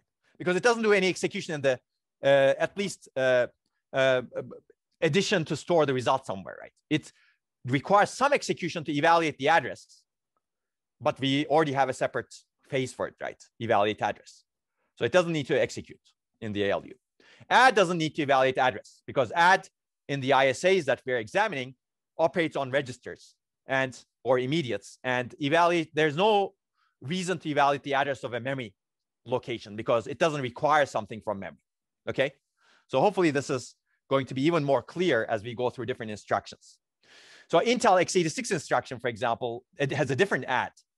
You don't need to know exactly what this is, but this means that take a value in a register uh, and then get a value from a memory location, add them, and to store the result in the memory location. It's an example of an instruction with all six phases. It evaluates the address for the memory, uh, and then it also needs to do the execution and then write back the result to memory. Okay, but we don't have such instruction in MIPS or uh, or LC3. That's why these are simpler ISAs that are better for instruction, easier for instruction to begin with. But in real world, the ISAs may be more complicated, as you can see. Okay, so every instruction goes through this processing cycle, and after it store the store result, you go back to the fetch of the next instruction. That's why this is called a cycle. You keep repeating it basically. Okay. And then again, this has nothing to do with the clock cycle. A processing of an instruction may take one clock cycle or hundreds of clock cycles, as we will see later on. It doesn't matter. You fetch the next instruction after you finish the previous instruction, however many cycles each instruction takes. Okay, now let's take a look at these phases and then we're going to finish up today. So the fetch phase obtains the instruction from memory and loads it into the instruction register. This phase is common to every instruction type. You have to fetch an instruction to be able to execute right. So the complete description of it is as follows. First, you need to load the memory address register with the contents of the program counter, as I said, as I said earlier, actually. And simultaneously, you need to increment, you increment the PC so that you actually get the program counter or the next instruction. Again, this is a choice. You don't necessarily need to increment the PC at this point. You just need to increment the PC before you fetch the pre next instruction. Okay. And then the second step is to interrogate the memory. This results in the instruction being placed in the MDR by memory, as we discussed, memory data register. You may need to wait for some time, of course, you need to. And then the next step is to take the uh, data that's inside the memory data register and place it into the instruction register because now the memory data register has the contents of the memory location pointed to by the program counter. Let's take a look at how this happens in LC3 microarchitecture. Okay, basically the first step is load the MAR and increment the PC. So what do we do? Uh, we take the program counter, gate it onto the bus, which means that we need to enable this control signal so that the program counter value gets gated onto the bus and it travels, travels, wait, wait, travels, travels, travels, travels, and gets at the end of the clock cycle gets get latched to the memory address register. And you need to enable the load memory address register signal so that that happens. So that's the first step. And then also concurrently at the same time, PC gets incremented by one. So you need to enable load PC. So while the old PC gets latched to the memory address register, new PC value, PC plus one gets latched to the PC. That's the beauty of concurrency in hardware, right? Now you latch the old PC, you're going to access memory with it, but the new PC value is something else. Okay, that's step one. Step two, memory address register, which contains the contents of the old program counter, which is the instruction we want to fetch. Uh, essentially, uh, uh, ena uh, you enable memory to access to do a read access. There are some control signals over here that you need to enable. And the memory gets accessed and the data at some point gets put into the memory data register by memory. And then uh, the next step is really to take the data that's put onto memory data register, get it, gate it into the bus using the gate MDR signal in the next cycle. And then the data gets to the instruction register, which means that you need to load the instruction register, uh, enable the instruction register, right? So hopefully that's very clear, right? You have three steps and we have the data path and control signals to execute a fetch operation. Okay, so decode phase identifies instruction. As I also said earlier, it also generates a set of signals, control signals to process the identified instruction later phases of the instruction cycle. Recall the decoder from lecture five. I'm not going to show you again, but we had a 4 to 16 decoder and it identifies which of the 16 opcodes is going to be processed. The input is the four bits, instruction register, top four values of the instruction register because we have the instruction in the instruction register. The input is those four, four bits at the top. And the remaining 12 bits identify what else is needed to process the instruction, meaning the operands as we discussed, right? So decode is very simple. If you look at this machine, it identifies the instruction to be processed. The instruction is already in the instruction register. You basically have the uh, wires connecting it to the this logic, this blob of logic, which generates the control signals. So it basically generates the control signals to process the instruction in the later phases of the instruction processing cycles, including the control signal for the ALU, including the control signal for the multiplexers, etc., including the source register two, source register one, destination register signals, etc., etc., etc., depending what these, depending on what the instruction is supposed to do, as we will see later on in more detail. Okay, the next step, uh, phase is evaluate address.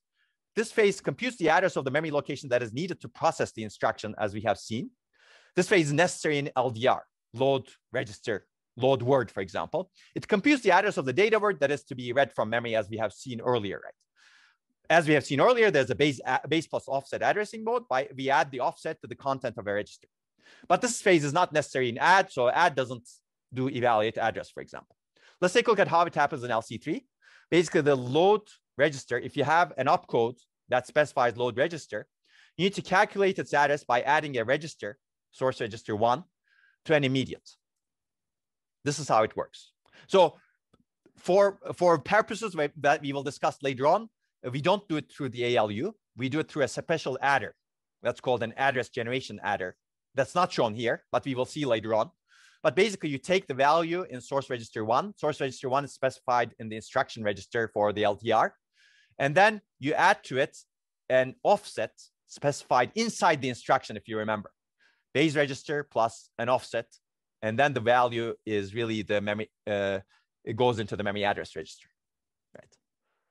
Okay, but we'll talk about that in the next stage. This is how we evaluate the address of an operation. Base register plus offset. And both of those values are specified in the instruction register as uh, signals to process the instruction. Okay, the fetch operands phase obtains the first operands needed to process the instruction. In LDR, we need to load the memory address register with the address value calculated in the previous evaluate address phase. Then read memory, placing source operand in MDR.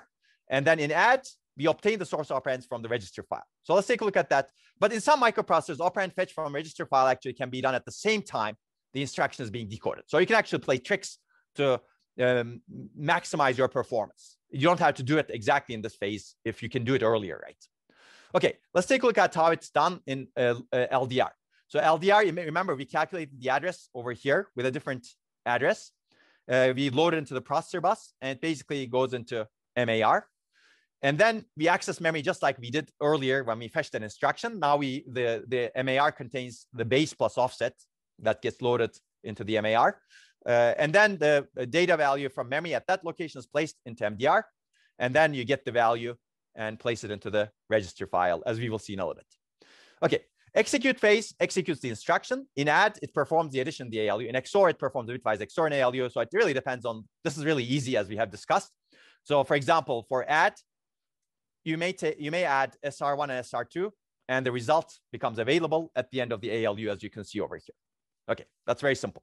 Now the store result phase, which is the last phase, it writes the result to the designated destination. Once store result is completed, a new instruction cycle starts or instruction processing cycle starts with the fetch phase. Now let's take a look.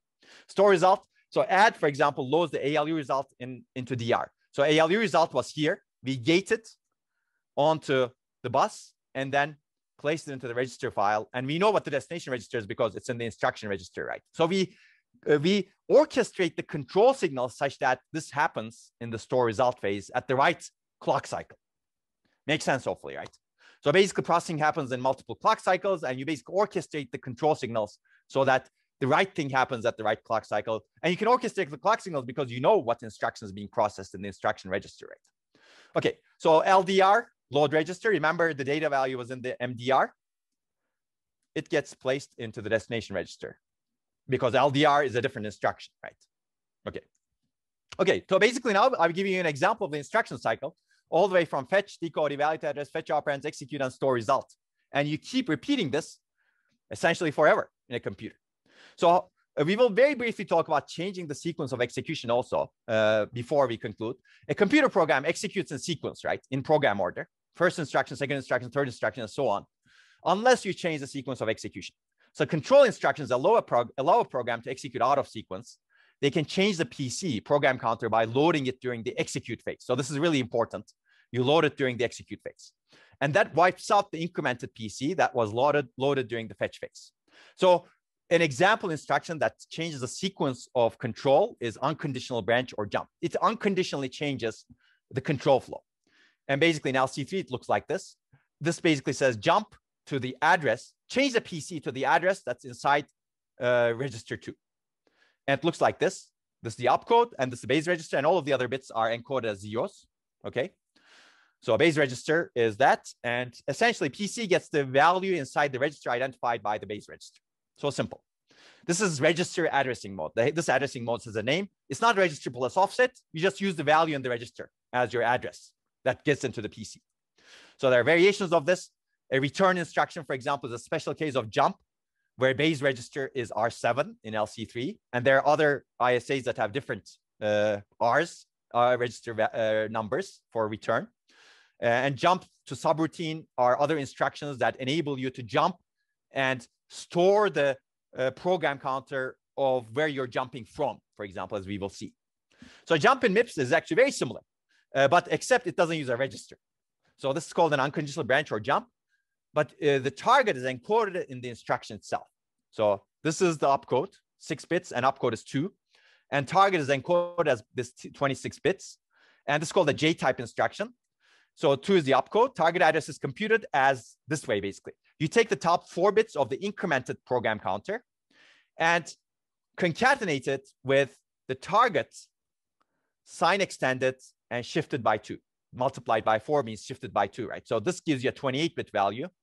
And essentially you have a 28 bit value concatenated with a four bit value. So you have a 32 bit value in PC, right?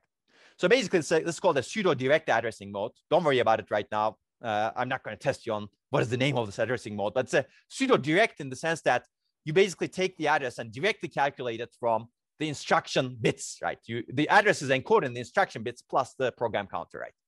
Uh, but it's also, uh, it's not, you don't do an addition, basically. You do a concatenation. That's kind of very direct. So there are variations of it. Jump and link, for example, that enables function calls, jump register. So this is the equivalent of the jump uh, that I showed you earlier. So this is jump register in LC3, and this is jump register in MIPS. Basically, you set the program counter to the value in register as zero in this case. It uses the register addressing mode that we showed earlier. So basically LC3 data path we have seen earlier, gate PC, LDMAR, multiplexer, etc. Uh, at this point, I think uh, this uh, maybe I will uh, very quickly cover the jump instruction cycle and then uh, we're going to finish. But basically, where does the jump go go into? Basically, you can see that the ignore the gate PC over here. I'm going to show you the jump uh, before I show you other stuff. But basically, jump instruction gets executed by uh, taking uh, the register, uh, one of the registers, source register one, uh, and placing it into the program counter. So you can see the path for it, right? Source register one out, gets selected to be loaded into the program counter in the execute stage of the jump instruction. So clearly there's a path over here to enable the loading of a register into the program counter. And you can see the different kinds of jumps in the opcodes in LC3. Uh, jump is here, jump to subroutine is here, and jump to subroutine by saving the register uh, is over here, register mode over here. So there are different addressing modes also in LC3, which we will cover in the next lecture. But if you're interested in how we actually use, control the instruction cycle, this is a state machine based representation of it. So this is the fetch part. As you can see, basically I've shown you all of the fetch parts earlier. PC gets loaded into MAR, PC gets incremented in state one. In state two, in the next clock cycle, uh, the MAR, uh, the, the, memory responds with the data in the address that's in MAR and placed into the MDR.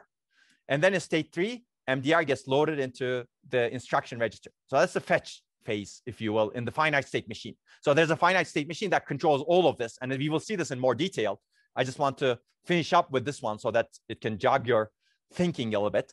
And then you decode the instruction in state four. The finite state machine goes to the next state, depending on the opcode, as you can see over here. Your next state really depends on the opcode. If it's add, you basically do the addition. If it's load, you do whatever is needed for the load. If it's jump, basically you execute the jump. Let's take a look at how a jump is executed. Basically, in some state, uh, jump loads the register into the PC. So there, uh, as I showed you in the data path, there's a path from the register file into uh, the uh, PC, and that's what's happening over here. And each state, you assert the right control signals. Basically here, you assert the right control signal so that PC goes into MAR and PC gets incremented. And here you assert the right control signals to do this. Here you assert the right control signals to do this. So basically, it's a beautiful way of really controlling the transition between the states and what each state is supposed to do. And we're going to cover this in full in the next uh, week, essentially. Not necessarily, not really tomorrow, actually, but in the next week. But if you want to uh, get ahead and take a look, you can see the full state diagram in Patt, Patt and Patel Appendix C. Clearly, this doesn't show you the full state diagram. Okay, so that's the end of the instruction cycle, and that's a very good place to finish. Uh, now that we've covered all of this, uh, we uh, will cover more of LC3 and MIPS instruction set architectures tomorrow, and we will also cover assembly programming since it's very tightly integrated with instruction set architectures. And then next week, we will start with microarchitecture. Any burning questions? Okay, I see a bunch of questions answered uh, by people. Uh, that's good. So I think uh, feel free to ask questions on different forums where we have questions. So uh, you can uh, maximize uh, your thinking, if you will. I will see you tomorrow. Take care.